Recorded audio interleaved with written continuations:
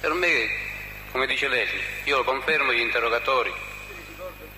Se vuole dare la lettura. No, se lei se le ricorda. Io li ricordo.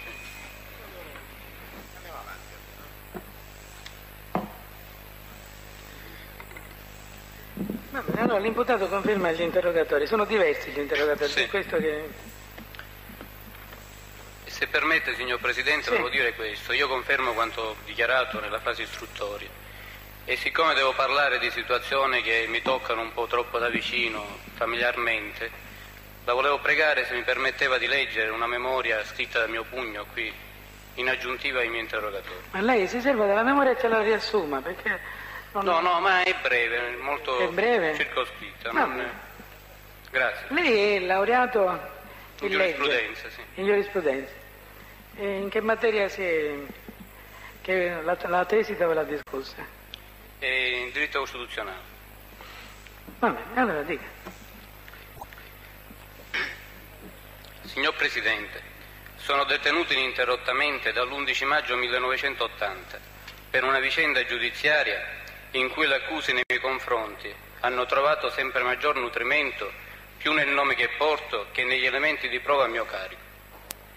Cosicché un'operazione finanziaria da me effettuata presso una banca è diventata prima motivo di sospetto e poi elemento sufficiente di condanna per l'infamante addebito di traffico di stupefacenti. Non era però questo l'avvenire e il destino che avevano per me prefigurato mio padre e mio fratello Stefano, il quale alla morte del primo fu per me come un padre altrettanto vicino e altrettanto amato. Infatti mio padre e mio fratello Stefano avevano voluto che io studiassi, mi avevano aiutato e sostenuto fino al conseguimento della laurea in giurisprudenza, avviandomi poi a svolgere la pratica forense presso uno degli studi legali in Roma, al di fuori e lontano da un ambiente in cui il nostro nome sollecitava soltanto l'attenzione poco benevola degli organi di polizia. Mio padre in special modo desiderava che io non patissi tutto quanto lui stesso e mio fratello Stefano avevano patito in termini di attenzione poliziesche, di segregazione carceraria, di limitazione, di divieto di ogni sorta e di interminabili vicende giudiziarie. Invece la mia vicenda personale dimostra che non è possibile a Palermo portare un certo nome senza subirne certe conseguenze di volta in volta scaturiente o dal rapporto di polizia o dalle personali convinzioni del delatore di turno. Così anch'io sono mio malgrado ospite delle patrie galere da oltre sei anni e nonostante ciò raggiunto da nuove accuse, secondo cui avrei commesso ulteriori delitti durante lo stesso periodo di detenzione. Esperienza la mia che ormai ha segnato irrevocabilmente tutta la mia vita, non solo perché non ho visto crescere accanto a me le mie tre figlie, unica ragione della mia esistenza, bensì soprattutto perché durante la mia detenzione è stato barbaramente trucidato mio fratello Stefano, verso cui ero legato da un sentimento di affetto e di intima solidarietà, sentimento questo che non potrà mai essere sporcato dalle interessate menzogne di squalli di personaggi disposti a barattare la propria madre o di averne un vantaggio personale. E soprattutto per allontanare da me l'ignobile accusa di aver tradito il mio stesso sangue, che oggi, signor Presidente, mi permetto di rivolgerle queste parole, che sono stato costretto a scrivere per superare il terribile, il terribile turbamento che mi sconvolge e per tentare di esprimermi in corretto italiano, perché dopo sei anni di carcere si vive in una dimensione pazzesca, si pensa e si parla secondo le immani cadenze del gergo e della mentalità carceraria. Ma adesso tutto ciò importa poco. Importa meno la mia sorte giudiziaria di fronte alle squalli di insinuazione di torbidi personaggi come Buscetto e Contorno, virmente proclamatesi depositari dei pensieri e delle convinzioni del mio povero fratello, che purtroppo non li può più smentire. Costoro non solo hanno riferito fatti di cui io non ho mai sentito alcun accenno da parte di mio fratello, ma lo hanno dipinto come un personaggio che trascorreva tutto il suo tempo a confidarsi.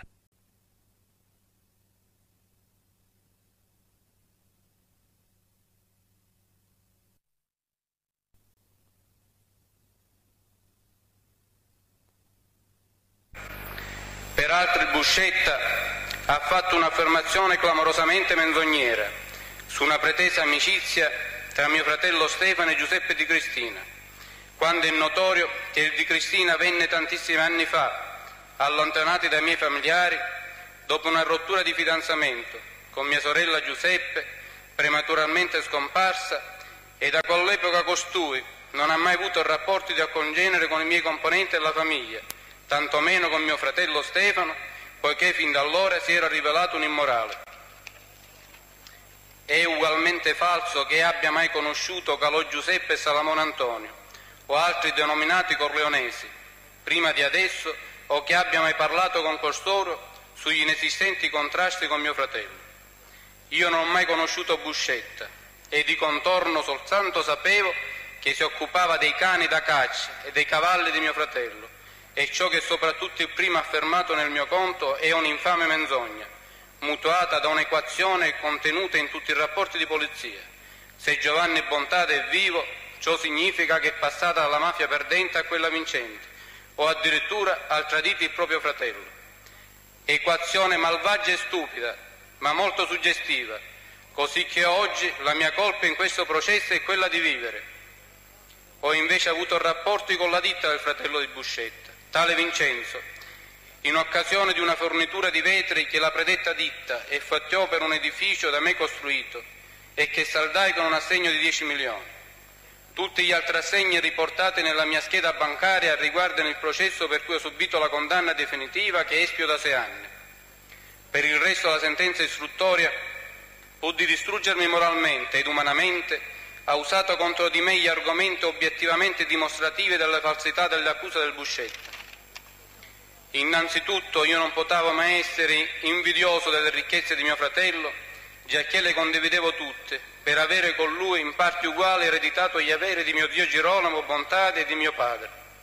Anzi, come dimostreranno documentalmente i miei difensori, era tale il legame affettivo e di solidarietà tra me e Stefano che gran parte dei beni ereditati e delle proprietà acquistate le abbiamo tenute e le teniamo ancora indivise Addirittura mio fratello e io acquistammo la nostra maggiore proprietà, che è il fondo Maiocco, nel 1980, sei giorni prima del mio arresto, quando secondo Buscetta avrei dovuto avere dei gravi contrasti con Stefano. Il fatto poi, annotato dall'ordinanza, che mio zio Girolamo abbia nominato mio fratello nel testamento erede universale, ciò aveva soltanto il significato morale, in uso nelle famiglie dell'epoca, derivante dalla primogenitura Così gli acquisti fatti da mio zio, a nome di Stefano, servivano a compensare uguali lasciti fatti da mio padre a mio favore e a favore delle mie sorelle. Oltre alla procura generale da me sottoscritta a favore di mio fratello e strumentalizzata contro di me nell'ordinanza, Stefano aveva sottoscritto a mio favore un'identica procura generale che mi dava ampia facoltà di amministrazione e disposizione sul suo patrimonio, procura questa che sarà prodotto in copia dai miei difensori. Inoltre mio fratello e io avevamo uno stesso conto corrente, cointestato con pari facoltà di prelievo a partire dal 1977 fino al 1982. Quando la stampa rivelò le menzogne del Buscetta sul mio conto, la vedova di mio fratello mi ha espresso un commovente atto di solidarietà, venendomi a trovare in carcere e recandosi dopo dal giudice istruttore per ristabilire la verità e respingere le infamanti affermazioni del Buscetta. Tutto ciò è stato ingiustamente strumentalizzato nell'ordinanza per sottolineare il mio presunto cinismo, sempre nell'ottica distorta che io dovrei essere morto e se sono vivo ciò significa che ho tradito mio fratello. Con uguale pregiudizio si è valutata la istanza con cui chiedeva al giudice di sorveglianza di assentarmi dalla particolare differenziazione disposta con ordinanza del 4 agosto 1982 misura questa che, adottata dopo un anno dalla morte di mio fratello, poteva procurarmi soltanto guai e non certo cautela e protezione, giacché è chiaro per tutti come, nell'ambiente carcerario, certe condizioni particolari sono motivi più di pericolo che di salvaguardia. Per il resto io sono sempre stato detenuto nelle carceri tra cui Palermo, Termini Meresi, Spoleto, Novara, Trani, Trapani, nelle sezioni e nelle celle stabilite dagli operatori penitenziari, non avendo certo la possibilità di scegliere i luoghi e i compagni di pena. Respingo inoltre quanto affermato dal Calzetta, dal Coniglio, dall'Anselmo e dal Sinacra, che non conosco questi individui e non li ho mai visti. Non sono mai diventati in carcere figlioccio di Pietro Loiacono, giacché sono stato cresimato vent'anni fa, ed è palese nel processo che il figlioccio del, ed è palese nel processo che il figlioccio del signor Loiacono, di nome Giovanni, che era nella sua stessa cella, non corrisponde alla mia persona. Ne ho mai indotto il Sinacra a simulare la pazzia, giacché è processuale che costui assunse tale atteggiamento in questura, cioè prima di essere portato in carcere, né io avrei mai potuto vederlo o incontrarlo, per l'obietta impossibilità di avere accesso allo speciale reparto in cui vengono portati coloro che danno in escandescenza. Tutto ciò che riferiscono questi deletori nel mio conto, dal Buscetta al Sinacra, è per averlo sentito parlare. Infine respingo l'interpretazione accusatoria data all'ordinanza al contenuto delle lettere sequestrate al padre Innocenzo, che si occupò per qualche tempo, dopo la morte di mio fratello, di esigere gli affitti e le rendite delle mie proprietà. Le frasi riguardanti i controlli clinici, clinici a cui dovevo essere sottoposto erano esclusivamente le ferneticazioni di un uomo che sognava soltanto di poter riabbracciare le proprie figlie, tanto è vero che non hanno avuto alcun seguito né sono state prese in considerazione dal mio corrispondente. Il resto riguarda leciti movimenti di denaro riguardanti le rende delle mie proprietà. Così pure la frase che parla di mio cognato Giacomo Vitale, soprannominato da me scherzosamente e familiarmente Testone, per la sua intelligenza, ha il lecito significato di una somma di 15 milioni cui avevo prestato precedentemente e desideravo che ne restituisse una parte al pasta per pagare tasse e contributi unificati degli operai. Detto questo, signor Presidente, Desidero avvalermi della facoltà di non continuare nel mio interrogatorio per non riaprire piaghe e ferite morali e umane che mi pesano molto più di quelle giudiziarie e confido nella sua serenità di giudizio, certo che lei e gli altri illustri componenti della Corte non mi addebiterete ciò che mi è stato addebitato fino ad ora, il fatto di sopravvivere. Quindi insomma lei non vuole ulteriormente continuare l'interrogatorio? specialmente do Presidente se sono fatti inerenti a ciò che eh, la mia situazione processuale, credo che sia stato molto chiaro qui nell'esprimere il mio. Ma qualche chiarimento sulla situazione economica sua? Sì, per questo sono a disposizione. Sostanzialmente mm, lei aveva affermato nell'interrogatorio che tra lei e suo fratello non c'erano differenze di carattere economico. Sì. Adesso però ha affermato che lo zio eh, Girolamo. Girolamo. aveva fatto un testamento in cui aveva nominato erede universale sì.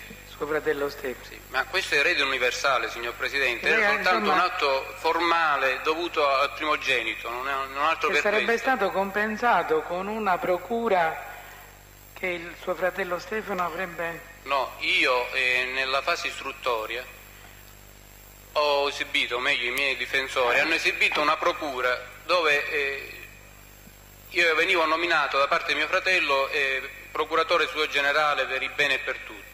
È stato detto che era un atto di subordinazione la mia, un atto dovuto alla sottomissione del fratello maggiore con cui ero in contrasto. Invece non è vero, è falso, perché anche mio fratello, come dimostreranno e presenteranno, aveva fatto una procura a me per amministrare i suoi beni. Addirittura avevamo gli stessi conti correnti, signor Presidente. Saccavamo assegni a firme separate, ma degli stessi fondi. Ma insomma, come, come beni comunque suo fratello aveva uno, delle proprietà maggiori di quelle che aveva lei? No, assolutamente. Tant'è vero che li continuiamo a gestire e li gestivamo in comunanza, cioè quel conto corrente di cui parlo e che esibirà il certificato della Cassa Rurale. Ma come beni immobili, dico, come No, no, non c'è nessuna differenza di, di, estensione di terreni. Ma i beni che facevano capo suo zio Girolamo, che cosa la, Presenteremo testamenti che sono stato beneficiario io e mio fratello, mia sorella e una mia cugina. Il ah. Buscetta ha detto che mio fratello non aveva bisogno no, no, di lavorare. Ma non mi riferisco a quello che ha detto Buscetta quello lo diamo per scontato perché lei ha risposto. Ma sostanzialmente lei aveva detto che come beni vi equiva- eh, insomma, i beni si equivalevano, sì, sì. i beni suoi e quelli di suo fratello stesso. Però ha anche detto che il suo zio Girolamo ha lasciato erede universale, almeno nel testamento.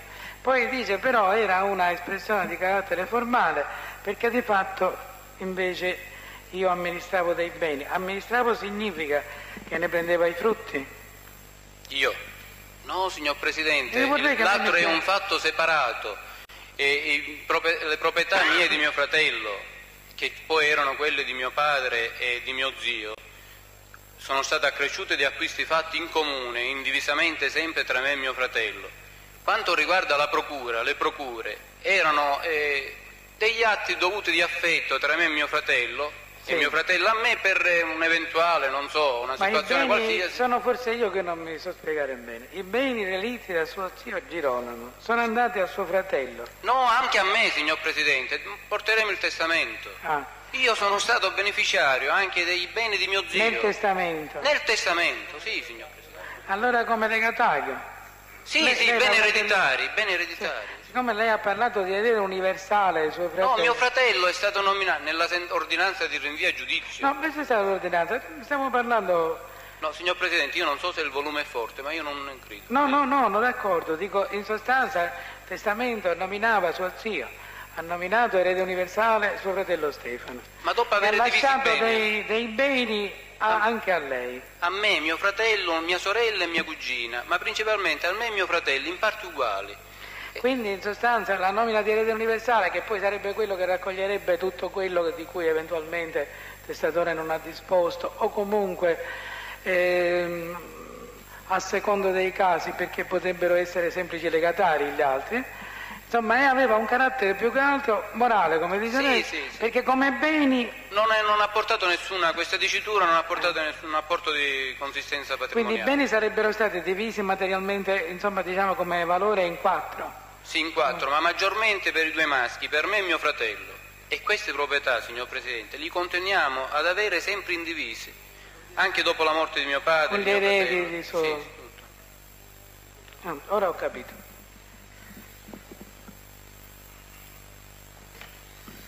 Allora, nelle- se noi riusciamo a...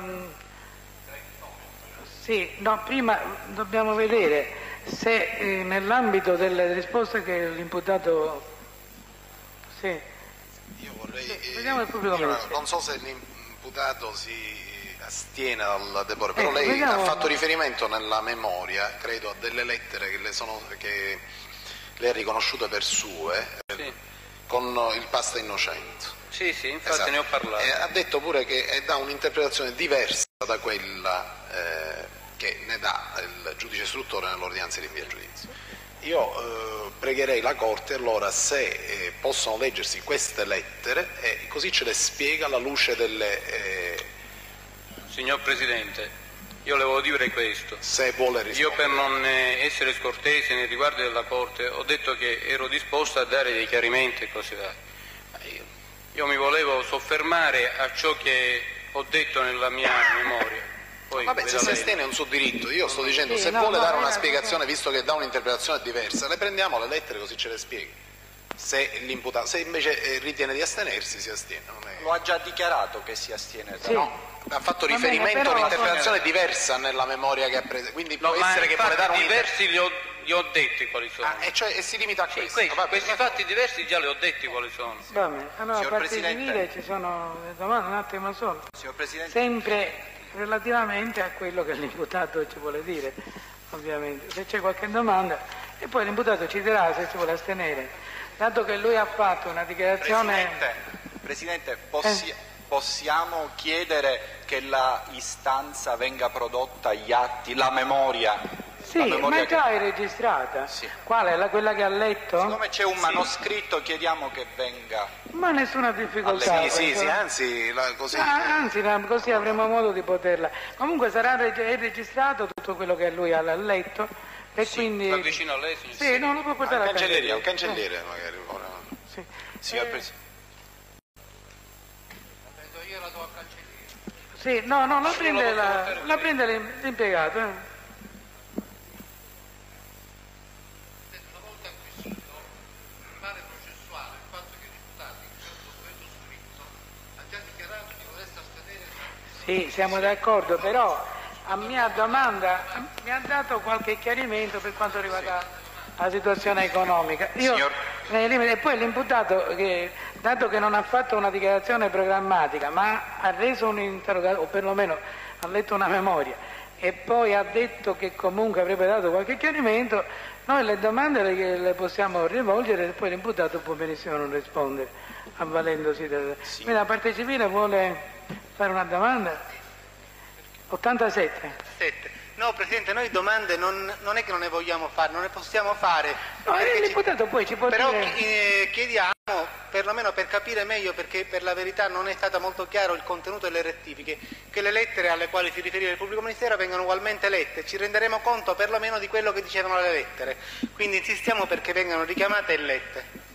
Sì. Signor allora, Pres- Avvocato Fragalà, che Eh, signor Presidente, le lettere sono allegate agli atti processuali e sono note da tutti i difensori sia della parte civile che eh, noi difensori dell'imputato perché sono appunto depositate da gran tempo agli atti del processo. Io oh, nel momento in cui l'imputato ha chiesto di avvalersi della facoltà di non continuare nel suo interrogatorio eh, volevo a nome dell'avvocato Seminara è mio oh, chie- eh, prospettare alcune istanze alla Corte. Una istanza Allora che... l'imputato lo possiamo fare Dice, riaccompagnare? sì. Sì. Sì. Lei si può accomodare. Sì.